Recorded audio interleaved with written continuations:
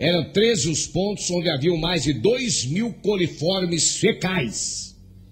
Coliformes fecais, na tradução, coliformes, olha que nome bonito. Me dá um coliforme fecal com gelo.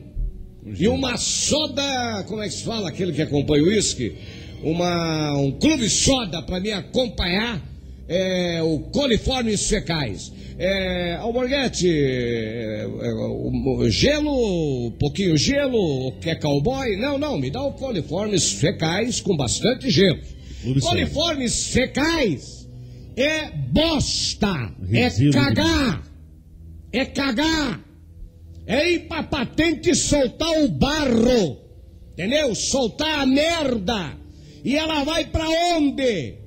Já que não tem saneamento básico nas praias do Paraná.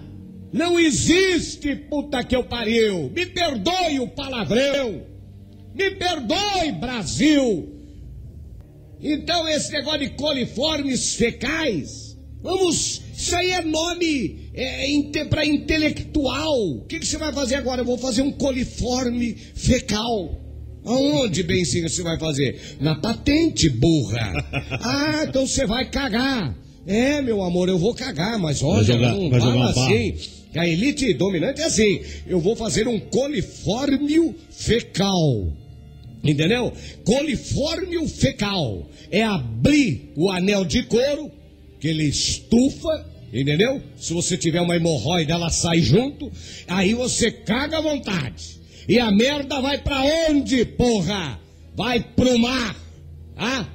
vai pro mar. Quer dizer, continua a mesma merda. E continua o mesmo coliforme fecal.